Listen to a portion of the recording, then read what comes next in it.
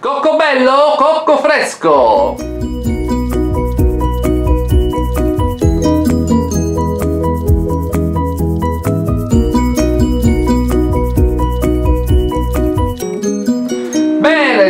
Tutti! E benvenuti nella Sì, nostra cucina sì. virtuale. La vedete Oggi- così un pochettino, come dire, strammata un pochettino stralunata perché avevamo detto che dovevamo fare un altro video. Sì, è vero, no, invece va ce ne bene. siamo- Oggi vi proponiamo una coccola al cocco, Sì, sì, sì. una coccolosa, la chiamiamo così? Sì, è una ricetta una buona per le coccolosa da slurpare.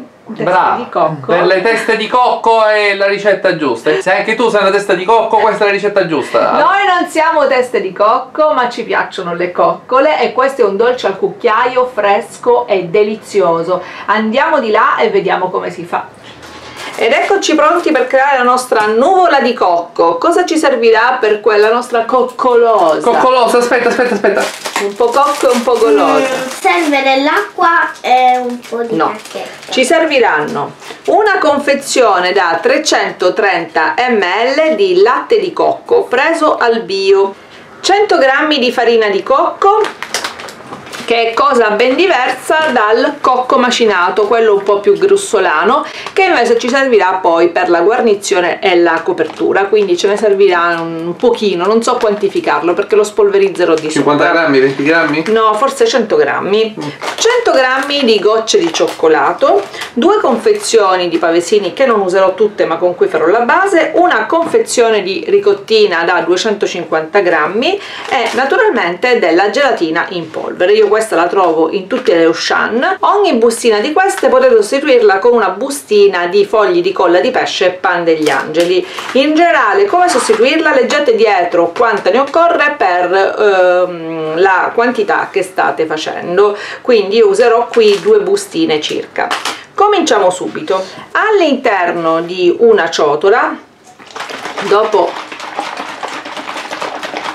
aver shakerato ben bene, verso il latte di cocco quindi verso dentro la gelatina. Questa la bellezza che si scioglie a freddo ne sto mettendo 16 grammi quindi l'equivalente di due confezioni di colla di pesce. Per chi non volesse derivati animali può usare la gara gara e le, co- e le proporzioni sono scritte sulla confezione. Ok adesso prendo un setaccio e passo la mia ricotta tieni che a setaccio. Perché? perché così il dolce viene meno grumoso. Sai che la ricotta ha questa consistenza un po' grumosa? Eh, così viene tolta. Aggiungo anche 3 cucchiai di zucchero di canna mescolo il tutto ben bene.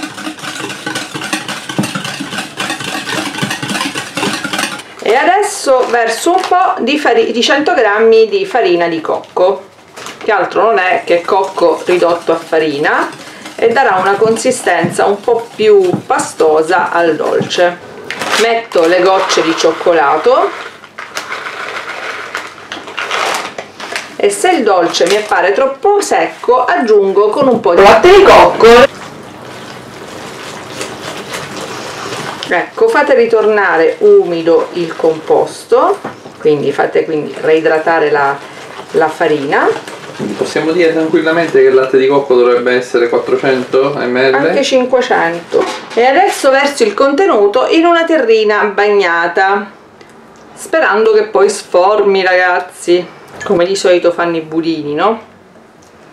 perché non ho carta cellophane se invece voi avete del cellophane rivestite la vostra pirofila di cellophane appianate il fondo prendo un altro po' di latte di cocco lo verso direttamente qui dove ho miscelato tutti gli ingredienti e preparo il fondo che applico adesso fatto soltanto di pavesini imbibiti di latte di cocco. Ed ecco abbiamo finito. Adesso in frigo per 3 orette dopodiché ci troviamo qua col cocco grattugiato per la guarnizione. Un po' meno cocco sono buoni.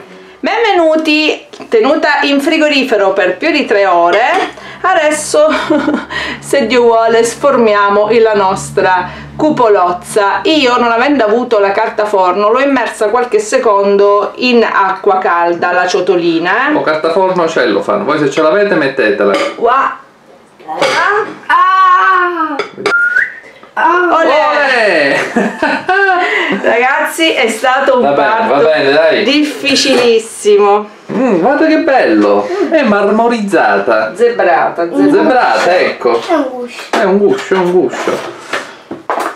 Non vi preoccupate perché la fetta tiene, qua sono stata io poco fiduciosa in me stessa. E adesso piano piano spolverizziamola tutta con il cocco così nascondiamo anche qualche eventuale magagnetta della sformatura. Ma voi ripeto se avete il cellophane non avrete nessun tipo di problemi nello sformarla. Lei regge la forma. È soltanto che io proprio non ce l'avevo quindi era inutile Questo è un dolce adatto ai bambini, ai grandi, a un quelli dolce senza al- denti anche. Giusto? soprattutto a quelli senza denti è un dolce al cucchiaio molto fresco molto goloso e molto buono Beh, quindi ora lasciatela in forno e lei lieviterà, raddoppierà, giusto mi pare? No, no, no, non raddoppia. sulla sommità proprio appena sopra Wow! qualche goccina di cioccolato così stuzzica la fantasia anche dei più piccoli vero che ti stuzzica la fantasia così Ho fame, ho già l'acquolina con le gocciole. Io le mangio perché mi piacciono. Così, così, basta. Bravissima, bravissima. La devi tagliare? Sì, È un peccato tagliarla, perché la devi e tagliare? allora adesso facciamo qualche foto e dopo la fetta Taglia, taglia, taglia, taglia. Ed ecco qua la nostra fetta, scusate il piatto sporco ma l'ho appena tagliata. Certo, perché sul piatto nero si notano tutti i Si difetti. notano tutti i difetti, ma Bene. volevo farvi vedere la guarda, fetta. Guarda, fai vedere la fetta, fai vedere la fetta ai nostri amici, guardate, oh, aspettate, mi devo mettere a destra e a sinistra. Guardate che bella questa fetta. Prendiamo la forchettina.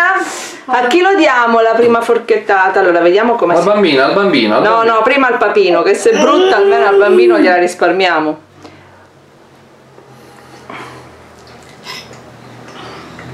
Silenzio. Com'è? Mm. Si sente il cocco? Questo lo assaggio io. Sì, noi tutti con la stessa forchetta, siamo famiglia, ragazzi. Mi sente il gommo? Sento le gocciole e il cocco. Vero?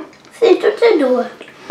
Però tutto molto fresco. Tutto molto fresco e quindi provate questa torta al cocco e diteci cosa ne pensate. Così ha una dolcezza media. Se invece la volete super dolce, aggiungete un altro paio di cucchiai rasi di zucchero. Considerando che il cocco alla lunga potrebbe nauseare, io vi consiglio di farla un po' più bassa di Brava, dolcezza. perfetto. Però se vi piacciono i dolci super dolci, due cucchiai di zucchero in più non ci staranno male. Sino a due cucchiai in più potete metterli. Bravissimi.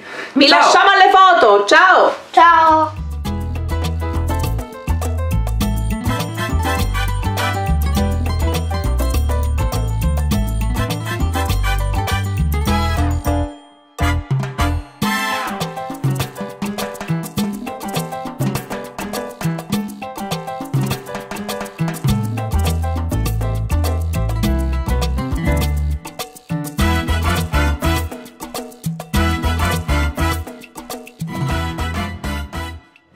Benissimo, avete preparato questa simpatica ricetta? Bene, ora non rompete più le noci di cocco. No, E ecco. andate, andatela, insomma, andatela a, mangiare, a degustare, fatela provare ai vostri amici e soprattutto al nonno. Perché al nonno? Al nonno, non lo so, non lo so, è più, sembra un dolce molto morbido per il nonno che ha problemi Sto notando che i dolci al cucchiaio, a parte le cose che dice lui, i dolci al cucchiaio li gradite molto e quindi vi sto proponendo una serie di dolci al cucchiaio di cui io sono ghiotta e che non vi ho mai proposto perché pensavo non vi piacessero, invece sono i video che stanno andando di più, quindi grazie ragazzi. Sono tutte torte dolci al cucchiaio che io faccio abitualmente in casa. Questa coccolosa da slurpare, la chiamiamo così? No, non mi piace questo nome, è Vabbè, un po', po' così. questa coccolosa diciamo che è veramente golosa, è buona, è molto fresca e non è neanche tanto pesante se ci pensate agli ingredienti che ci sono dentro. Quindi godetevene una bella fetta in terrazzo, magari fronte mare e pensateci con tanto amore. Ma come sono poetica! Sì, brava, e quindi un saluto a tutte le teste di cocco e noi ci vediamo sempre qui. Vi vogliamo bene, tu sei una testa di cocco. Ciao!